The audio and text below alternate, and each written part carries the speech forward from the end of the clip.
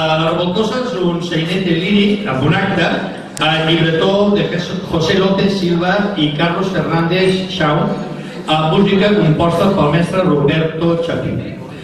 Fou representada per primera vegada el 25 de novembre de 1897 al Teatro Apolo de Madrid.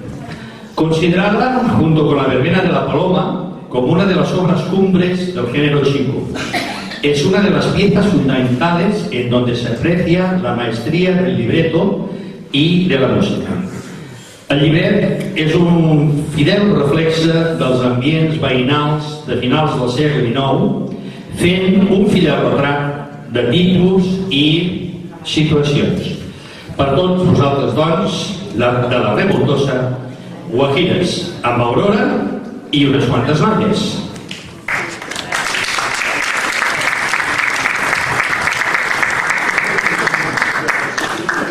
Mm.